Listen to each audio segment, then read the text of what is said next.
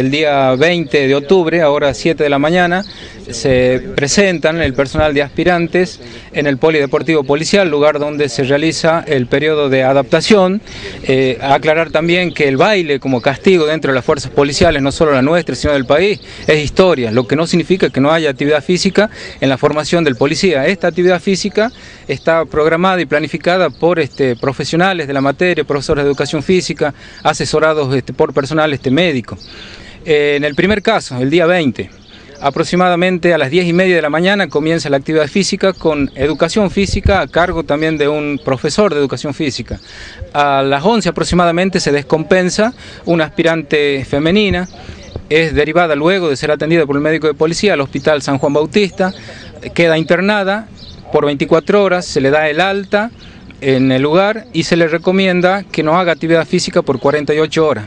Transcurridas estas 48 horas, se presenta nuevamente a la Escuela de Suboficiales y Agentes, el médico de policía le da 48 horas más, pero el médico se da cuenta que el cuadro no era normal para este tipo de actividades y eh, la lleva nuevamente al hospital donde queda este, internada. ¿no? Eh, lo que tiene que ver con eh, justamente este estudio, ¿no? ¿no? se le hizo un estudio posterior a, lo que fue a, la, internación, como para ver si esta persona estaba en condiciones nuevamente de integrarse a, la, actividad?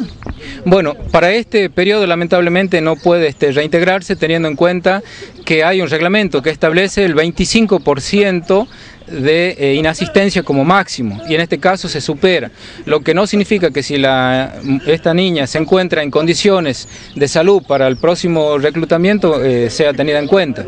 El otro caso, el otro caso, en horas de la tarde, el día domingo, es internado eh, un joven de apellido este, Quiroga, a quien se le diagnostica este, insuficiencia renal.